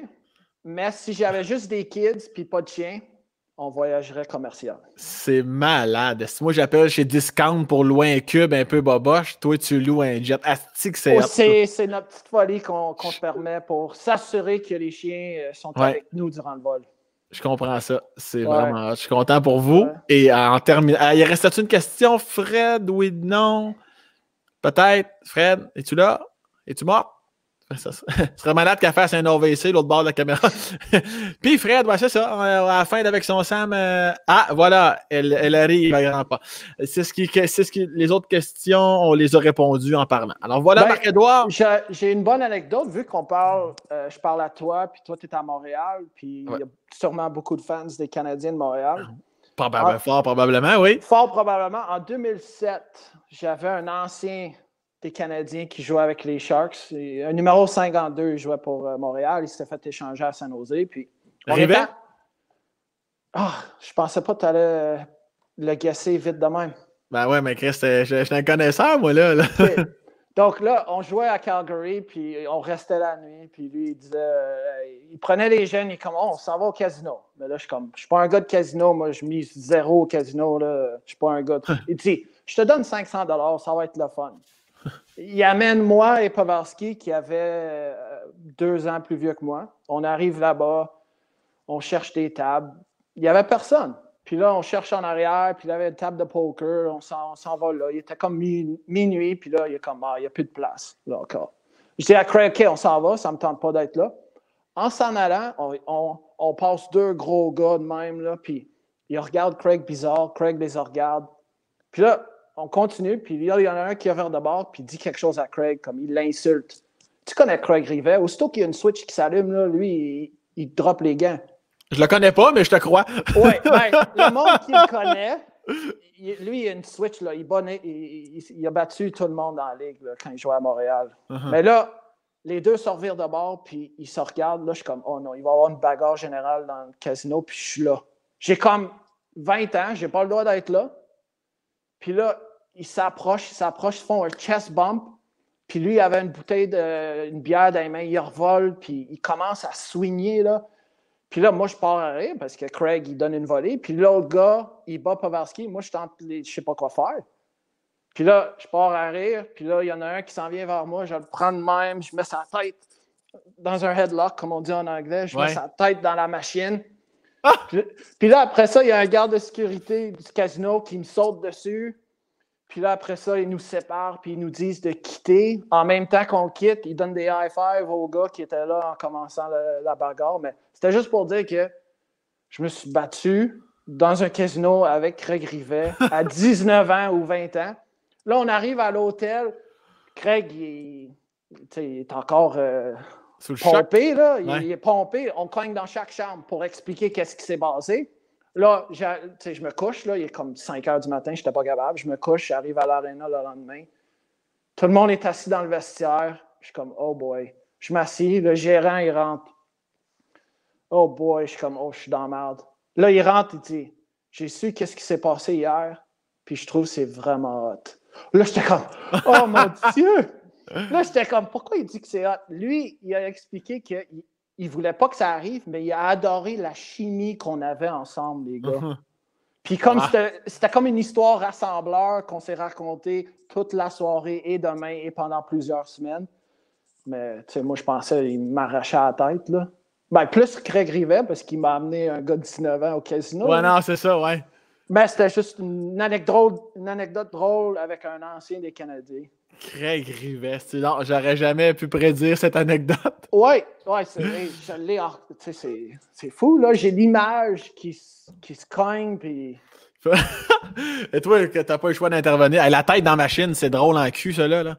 Ben, je savais pas quoi faire. À un moment donné, je ris, puis il y a un des deux gars qui me regarde, il dit Pourquoi tu ris, toi? Puis là, je savais pas quoi faire. Il m'approche.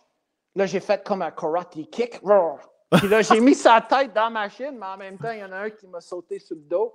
Ils ont comme pris le bord des deux gros gars. Je sais pas pourquoi. C'est la, la pire chose que t'as vécu hors glace? Sûrement. Ouais, sûrement. Ah, ben, ça, c'est hors glace. Sur glace, c'est avec Patrick Roy. OK? Euh, le film, euh, tu connais le film Miracle on Ice? C'est-tu Miracle on Ice, là? Hmm. Ou avec, euh, quoi, le- les Américains, là, quand ils patinent, puis ils disent leur nom, puis ils arrêtent de patiner, là? Ah, euh, euh, Pas Miracle euh, on Ice, là. euh, euh, en français, je peux. Euh, c'est-tu. C'est-tu. Euh, c'est-tu les Mike Ducks ou jeu de puissance, ces affaires-là? Là? Non, non? ben, c'est un film de. C'est un film. Ben, c'est un film d'hockey, puis là, un moment donné, ils ont perdu, puis le coach est comme Ben, au lieu de déshabiller, rembarquer sa glace, puis on va patiner pendant deux heures de temps. Ah, c'est ça. Oh oui, oh oui. Avec... Vas-y. Puis euh, on a fait ça avec les remparts. On avait perdu à la maison. Puis là, on rentre dans la chambre. Puis là, les assistants coach sont là. sont comme, tu te déshabilles pas. On est allé comme, il est comme 10h, 10h30. Là, je suis fatigué. J'avais joué comme 28 minutes.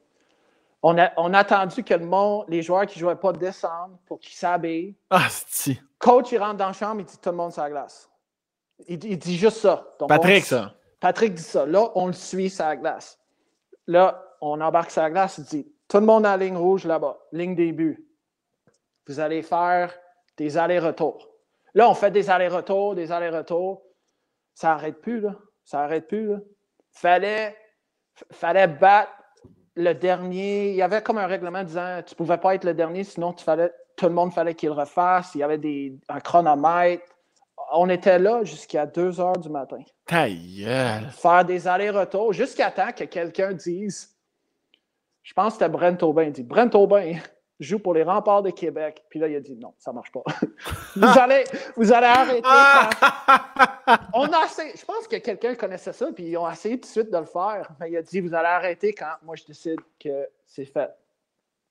Puis là, en plus, il y avait euh, Ray Cloutier qui, qui, fait, qui anime la radio, qui, était resté tout le long. Là. Puis lui, sa radio, il annonçait que il patine encore. Le monde nous, écoutait à la radio patiner. Il fallait des allers-retours. Je pense, honnêtement, on était là jusqu'à 2 heures du matin.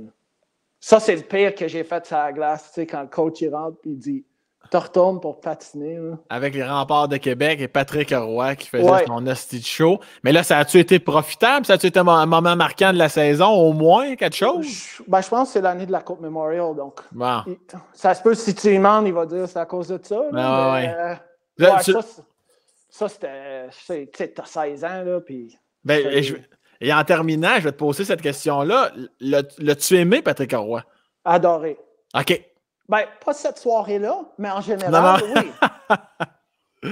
ouais, j'imagine. Ben, je connais son point. on avait perdu, mais c'est pas le fait d'avoir perdu, c'est l'éthique de travail, la manière qu'on a perdu. Puis tu uh-huh. commences, quand tu joues pour, tu, tu commences à le connaître. C'est lui, tant que tu travailles fort pour les bonnes raisons, ça n'arrivera pas. Mais ah euh, je l'ai adoré. Là. Il, est efficace, il est direct. Euh, il connaît son hockey, évidemment. Euh, donc, je suis pas mal sûr que 95% des joueurs qui ont joué pour lui vont dire hmm. qu'ils l'aiment. J'ai beaucoup. La première année, c'était mon gérant. Après ça, les deux dernières années, c'était mon, mon, entraîneur-chef. J'ai vraiment aimé ça. Mais à part cette soirée-là, j'étais. c'est dans ma tête, là, je ne le dirais pas à lui, là, mais dans ma tête, j'étais comme oh, je suis pas capable. J'espère, si boire. ouais, patiner, il fallait des allers-retours. Mais c'est des, des, anecdotes drôles que tu dis plus tard. Là, euh, tu, vas pouvoir. Euh, ouais, ben dans le fond, avec Craig Rivet, Pavarski était là aussi. Donc, tu sais, pendant des années, tu sais, moi et Pavarski, des fois, on se disait, au moins on se bat pas. Au moins, on se bat pas comme au casino, on a fait avec Craig. Donc, tu sais, c'est quand même. C'était la référence. Ouais, tu as la référence. C'est drôle d'avoir des histoires comme ça qui sont pas trop dangereuses. Ben, Marc-Edouard, je tiens à te, remercier sincèrement. Là, tu vas me dire, anyway, Sam, je calisse pas grand-chose, ça me fait plaisir. Mais je tiens à te remercier infiniment pour ton temps. non, je suis très occupé, là. Oui, oui, je sais, t'es chandelle. T'es chandelle. chandelle. Euh, c'est la première fois en huit ans que je vois l'automne à Québec. C'est vrai? C'est vrai. Depuis 2012, le lockout, je vois l'automne, je vois un petit peu d'hiver. Là, il euh, faut que je ferme mon terrain. Euh, j'ai un spa à m'en occuper. Euh, je coupe du bois. je range du bois. je corde du bois.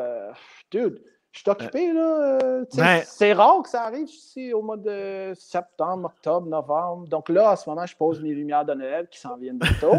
ben, je te remercie deux fois plus d'avoir pris ton temps d'abord. Puis je vais te laisser aller poser tes petites lumières de Noël. Oh, c'est des grosses lumières de Noël. Ah oui, oui, excuse-moi. Oui, c'est des grosses lumières. Oui, oui, je ne voulais pas ah, t'insulter. Ben oui. Dans le fond, ton petit vidéo que tu as fait, euh, le sapin de Noël, je le garde parce que l'année passée, je suis revenu d'un voyage, puis il y avait 12 sapins dans la maison. 12? 12 sapins dans la maison, puis j'avais au moins 40 000 lumières d'allumées dans le cours. S'il y, a de la place pour des lumières de Noël, il faut que j'en mette des lumières de Noël. Moi, j'aurais dit s'il y a de la place surtout pour 12 astis de sapins dans une maison. Là. apparemment, il y a toujours de la place pour des sapins. Dans le fond, une maison est faite ou construite et les prises sont installées en conséquence pour mettre un sapin de Noël. Ok, ok, ça se Tu bâtit. savais- Ouais, tu savais pas ça. Non, non, mais là, là je, je- je le prends en note encore à l'instant. là. Donc, à chaque fois qu'il y a un sapin ben, qui s'installe, qui commence à le faire, je montre la vidéo de toi. De moi. Là, tu fais la référence sur ma chaîne YouTube, là, la Je fais la vidéo scène, que je décalisse le ouais. sapin, c'est ça? Que Ou la, le sapin. ou la grand-mère? Ok, non, non, que je décalisse le sapin. Ouais, ouais. Il faut que tu bouges le sapin parce que les belles boules sont pas dans, tu sais, Ah, ouais, non, non. ou, tu sais, c'est ça. Non, non, ça, c'est une... ah, non, ça, puis tu peux pas arriver à tes fins. Moi, souvent, là, je monte le sapin, puis je dis à ma blonde, ah ouais, tu, tu peux, mettre, tu peux mettre Céline Dion en background, fais ce que tu as à faire, puis moi, euh, je suis là pareil, mais Oui. la finition, je la laisse faire parce qu'on s'en C'est sortira vrai. pas. Là, on s'en sortira pas- j'ai le droit de toucher aux boules qui va dans les sapins d'or. En dedans, j'ai pas le droit parce que si j'en casse un, Ouais. tu sais, c'est. Mais dans le fond, la famille à ma blonde sont très. Ils décorent en fou. Comme. Si tu vois, ici, un mur blanc, là, à Noël, il n'y a plus de blanc. C'est décoré de Noël. Donc, faut que je fasse attention pour pas casser des boules. Chaque boule a sa place. Elle est vraiment dans, dans l'esprit euh, de Noël. Là. Oh, ouais. rien. Là. Le monde va dire, ben là, elle est folle. Ben non, pas du tout. Là. Vraiment, l'esprit Noël, là, c'est elle qui l'a. là. Elle commence à. Elle a un verre de vin de Noël, un verre de champagne de Noël. Elle a tout. Noël. Moi, ma job, c'est installer les lumières de Noël dehors, mais les Ouais. bien installer pour pas qu'il y en ait une qui pète. Ben non, j'espère donc, sacrément. Toi, tu restes dehors, les lumières, puis tu cortes ton bois. Pour le reste, tu fermes ta boîte avec ça. Exact. Donc, je commence maintenant, puis on est le 4 ou le 5 novembre, je vais avoir fini euh, 1er décembre. Excellent. Tellement de lumière installée. Et j'espère suivre cette saga sur tes stories Instagram. J'aimerais ça Ben, que tu nous si- en fasses part. si les stories à ma blonde. Moi, j'en mettrai pas. Ouais, c'est ça. Je vais aller suivre Martine à la place. Ouais. Marc-Edouard, je te remercie infiniment pour ton temps, plein d'amour, puis au plaisir de se recroiser dans ma télé avec des vrais matchs de hockey dans une vraie saison. Ou à l'atelier. Merci. Ou à l'atelier. Prends soin de toi. Merci beaucoup. Salut!